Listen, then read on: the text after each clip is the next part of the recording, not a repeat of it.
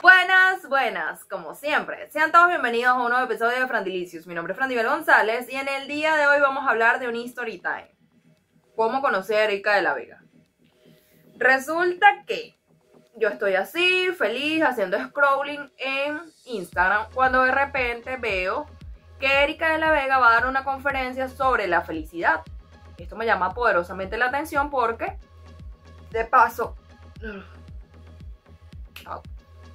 esto me llama poderosamente la atención porque no la va a dar ella sola, sino también con alguien que se llama Todd. Yo veo esto y me parece bastante ingenioso este nombre. Resulta que me, me pongo a indagar y resulta que Tal es el fundador de una universidad de la felicidad. Me intriga aún más. Corro a inscribirme, evidentemente, aquí. Llega el día en el cual este por fin voy a conocer a Erika de la Vega, sumamente emocionada. Cabe destacar que no nos conocemos en persona, pero sí de manera online. Y acudo a mi laptop, me siento, mis audífonos y broma. Y de repente descubro que esta conferencia es para hablarte del cambio. ¿Cuál es el cambio? El cambio o la resiliencia que tiene que vivir una persona cuando se convierte en inmigrante.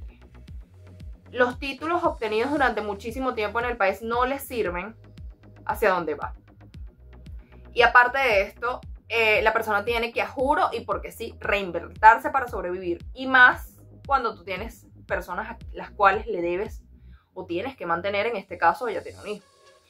Entonces, eh, esta conversación eh, se hace bilingüe porque ella le responde en español y él le habla en inglés. A pesar de que ella habla perfectamente inglés, ella dice, no, yo quiero hablar en español para aquellas personas que nos están viendo, no sé qué. Y a la par, porque la conferencia fue por Zoom, eh, tenía diálogos de inmediato la traducción. Increíble.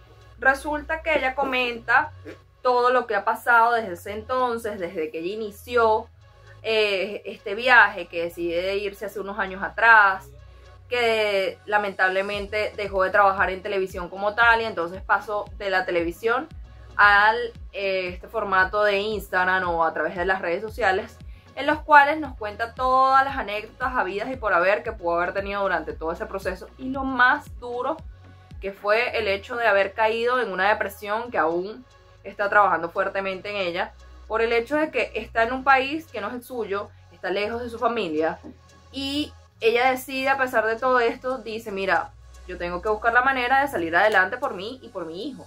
Lo logra y entonces esto es el resultado de todo esto. Y a la, y a la par, no lo logra ella sola, sino que se inscribe, estudia dentro de, la Universidad de la Felicidad. Porque la felicidad, como bien siempre me, me repite eh, alguien que amo muchísimo, es una decisión. Si tú quieres ser feliz, tienes que decidir ser feliz por ti, no por las demás personas, no porque mi mamá quiere, no por lo que mi papá quiere, por lo que digan mis hermanos, mis amigos, mi pareja. No, uno tiene que ser feliz con uno mismo para luego ser feliz con alguien más. Al igual que uno tiene que amarse uno mismo, darse su prioridad como ser humano y luego poder darle así la prioridad a los demás. Yo no puedo querer el, el reconocimiento de todas las personas que me han visto durante todos estos años si yo misma no me reconozco. Eso por, por darles un, un hincapié hacia mí. Pero me, me, encantó demasiado porque al final de toda esta charla que se hizo súper amena, ella comenta, conchale, me pueden hacer preguntas, no sé qué. Yo no me atreví a preguntarle nada a Erika, o sea, porque yo estaba encantada con todo lo que ella decía, de ser resiliente, de tomar, darle tiempo al tiempo. Eso no significa, ay, yo voy a esperar que me, cargo, caiga una oportunidad a mi vida porque yo soy Erika de la Vega y as... no, yo, o sea, yo llegué a otro país y ya. Y lo mismo igual pasa aquí si tú no eres feliz en lo que estás haciendo en estos momentos, busca la manera de salir de donde estás. Tal vez pueda ser fácil, tal vez puede ser difícil. Todo va a depender mucho de lo que tú creas, de lo que yo creo. Si yo creo que se me va a hacer fácil, créeme que de aquí a que termine el año, todo el mundo va a saber quién soy yo. Pero si yo no trabajo eso, porque eso es un trabajo de diario, para tú poder llegar a donde estás. Entonces no te creas, ay, se dice fácil. Sí, te fuiste a otro país. Sí, tienes cinco años haciendo un programa. Ajá. Pero Date cuenta que me he mantenido a lo largo del tiempo. ¿Qué estás haciendo tú? Cuéntame, ¿cuál es tu sueño? ¿Qué anhelas? Ay, es que yo debo, debo todas mis tarjetas de crédito al banco. Baby, pero no sé, métete en un cursito en Excel de cómo saldar tus deudas. Dale prioridad a lo que de verdad debes darle prioridad. Ay, no, es que yo tengo siete muchachos y yo no puedo ni con la tarjeta de crédito ni con los muchachos. Bueno, trabaja un poquito más hacia eso. Busca la manera, no sé. Vende ropa, vende cintillos.